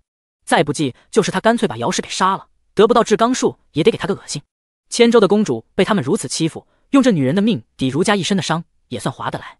侏儒目光中冰寒乍现，两手握紧成拳，全身骨骼开始了缓慢却又有规则的拧动。或许单打独斗，他不是黄泉忘川的对手，更不可能对付玄天明和凤羽恒。但若论偷袭和逃命，他这一身软骨功却是常人所及不上的。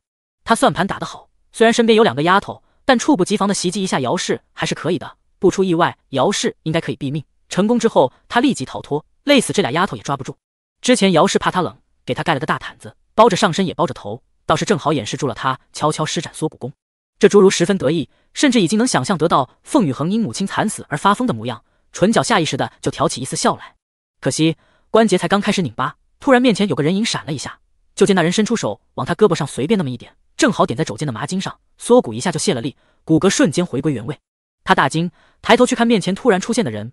他能确定这人原本并不在凤羽恒的队伍中，可眼下却又出现在此，那就只能说明一个事实：这人是暗卫。侏儒再不敢轻举妄动，他知道与一名暗卫动手，很有可能他连自己怎么死的都来不及看清。车里坐着的姚氏也奇怪，搬走怎么突然就出现了？不等问呢，就听搬走道主子说来了一个长得特别丑的孩子，我过来看看。侏儒又听到有人说他丑，气得脸都瓢了。可是又能如何呢？除了姚氏，这一行人里一个比一个精明，一个比一个武功高强。看来此番行动真的是太冒失了。侏儒开始后悔，早该听父亲的话，不贸然行动的。这下好了，事没办成，回去定会遭到训斥和笑话。两辆马车快速前行，总算是在傍晚时分赶到了京城门口。玄天宴的公车行在前，姚氏的马车走在后。就听城外处闹哄哄的，有许多百姓喧哗。赶车的白泽清掀了帘子，跟里面的人说：“不知道在查什么。进城的和出城的都在仔细盘查。”凤羽恒走到车厢边往外看，正好有个守城门的将士也往他们这边走来。那将士一看就是个愣头青，手拿长枪，枪口对着白泽大声喝道：“停车！停车！里面的人都给我下来！”白泽一下就乐了，这是哪来的毛头小子？那人听到他的话，气得跳脚，大喝一声：“来人啊！这有一群贼人，快把他们围起来！”其他守门的人一听这边有贼人，赶紧就围了过来，一个个枪口直接着公车，一脸的戒备。凤羽恒拍了拍白泽的肩膀，示意他先别说话。然后主动开口问道：“你们堵着城门逐一排查，到底是在查什么？”哼！有将士朗声道：“千州世孙被歹人劫持，上头已经下令，所有往来京中的行人车辆都要逐一排查，绝不能放过一个。你们赶紧都给我下车来！”千州世孙，凤羽恒提高了声音问他：“你是说，你们这样堵着城门口，扰得百姓出入不便，不得安生，就是为了千州世孙？”没错。那将士一仰脖，一点都没觉得自己这样做有什么话，还大声地道：“千州世孙身份贵重。”出一点小事都非同小可，哪里是这些贱民百姓比得起的？更何况千州皇叔还说了，谁能把世孙找到，赏金子一百两，那可是金子啊！结果他这话一说完，就见那个居高临下站在马车上的女孩突然就变了脸，俏丽的脸蛋霎时覆起阴霾，然后再拍了拍那个赶车的车夫，朗声道：“白泽，给我打！胆大还是心大？”白泽可不管那些个，他原本只听玄天明一个人的话，后来有了凤羽恒，就开始听他们两个的话。别说只是让他打几个守门的兵。就算让他去杀皇帝老子，他都不带皱皱眉头的。凤宇恒一句话出，再一眨眼，白泽已经飞身下车，佩剑都没往外抽，就挥起双拳，对着那些守门兵砰砰砰砰的就敲了过去。守门的兵能有什么真功夫啊？敢敢长枪挑起的架势，还没等拉开呢，白泽鬼魅般的身影就已经到了眼前了。这些人完全看不清楚白泽的拳是什么时候挥出来的，没有一点点防备的，鼻子、眼睛、脑门、脸颊、胸口的重创便接踵而至，打得他们眼冒金星，扑通扑通的就往地上坐。等着出城进城的百姓对着场面纷纷叫好，因为他们不止受了被盘查的气。刚刚有人说他们是跟千州人不能比的贱民，可把百姓们给气坏了。眼下看到将士被打倒，有脾气大的就喊了起来：“打得好！居然逞千州的威风，骂我大顺的子民，吃里扒外的狗东西！你胆敢殴打我们？”倒地的人里总算还有人能说得出话，但他完全不敢相信面前这伙人到底有什么来头。这里可是京城啊，居然敢打京城守卫！上前与白泽对峙的并非所有的守卫。还有一部分人依然在城门口站着，完全不与这几名同流合污。那些在正常站岗的将士，算是守城的老人，虽然也不过三十多岁的壮年，这守门的活却已经干了十几个年头了。他们这些人整天都在四个城门轮番站岗，对京里大大小小的各类人物那是认得比谁都清楚，甚至连京中经常出入城的百姓都记得个大概。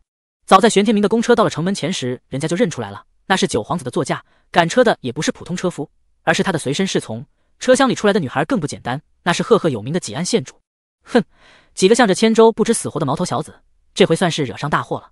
眼见被打倒的人还在指着白泽叫骂，凤羽恒一声冷哼，扬声道：“打的就是你们这群狗东西！为了给千舟找孙子，居然如此折腾我大顺子明，今儿就是把你们打死了也是活该。说我大顺子明是贱民是吧？”他突然往百姓堆里一指，随随便便就点了一个年轻人：“你进城去跟金兆尹说，让他把这些人的户籍从大顺给我清出去。我大顺没有这样的败类，不是说千州好吗？有本事让他们去入千州籍，本县主倒是要看看千州收是不收。”本县主三个字一出口，那些原本就看着凤羽恒有些眼熟的百姓一下就反应过来了，纷纷跪倒在地，齐声高呼：“叩见季安县主！”被打倒在地的守门兵也傻了：“什么？季安县主？这个女孩就是季安县主？”糟了，听说季安县主嫉恶如仇，他们此番得罪会不会被杀头？也有人心里松了口气，只道还好，还好，只是县主一人。如果九皇子也在，他们可真就不用活了。正想着，就见那公车的帘子一掀，有个紫衫男子坐着轮椅从里面出了来，脸上的黄金面具在夕阳的余晖下晃得人眼生疼。那些守门兵心里头瞬间就升腾起两个大字来：完了。对，完了。九皇子也是在的，季安县主跟千州本就不睦。九皇子又是个护妻狂魔，栽到这二人手里，怎么可能还有命在？果然，玄天明才一出公车，第一句话便是冲着人群里那被凤羽恒点到的青年人说：“县主让你去找金兆尹，怎么还不去？”那青年一蹦高就跳了起来，朗声道：“刚才只顾着给县主磕头了，草民这就去。”话音一落，就已经跑没了影。玄天明和凤羽恒一表露身份，城门口那些还在站岗的将士也跑上前来行礼。之后，有一人带头道：“启禀殿下，县主。”他指着那些倒地的人说。这些人原本不是城门的守门，他们是守驿馆的。千州使臣进京，他们就负责保护使臣安全。一来二去的，也不知道千州人许了他们什么好处，竟就能如此偏向。从今日一早直到现在，出入城的百姓可是没少受苦啊！原来是这么回事。